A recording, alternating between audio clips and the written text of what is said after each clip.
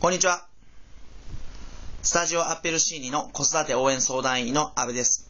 今回は前回に引き続き、幼稚の算数のは解くものではないと、頭で作るものという話をしていきましょう。まあ、前回また話をしたんですけれども、今回はまずは料理について話をしたいと思います。料理では、例えばきゅうりを1本、1回切るといくつになる2回切れ目を入れるといくつになる？これ実は上刻算の基本を入れるものになるんですね。ですから料理をしながらも算数のを入れられると思います。あとは等分に切るとまた分数の概念なんかも入っていくと思います。分数の概念ですごく大事なのがピザ、ケーキ。これはものすごく分数入りやすいですよ。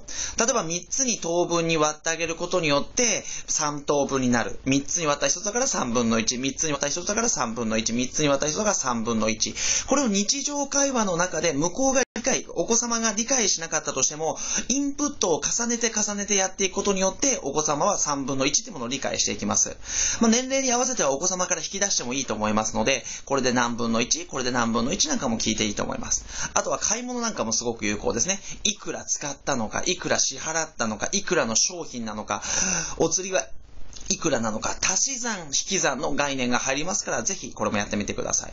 電車が好きなお子様特に男の子は多いと思うんですけど、車両を数えるのもすごく有効です。1車両、2車両、3車両、4車両、あ、今日4車両まであったね。この間は5車両だったよね。じゃあ1車両短いね。なども日常会話で入れてあげてください。このようにですね、まあ、日常会話の中でいろんな算数のってことは使う、使うことができるんですね。で、ポイント。これはどんな取り組みでも大事なことです。ポイントはお母様自身が楽しんでください。お母様自身が楽しむことによってお子様も普段、普段日常でですね、何気なくそういう会話が出てくるようになりますから、楽しみながらぜひやってみてください。本日もありがとうございました。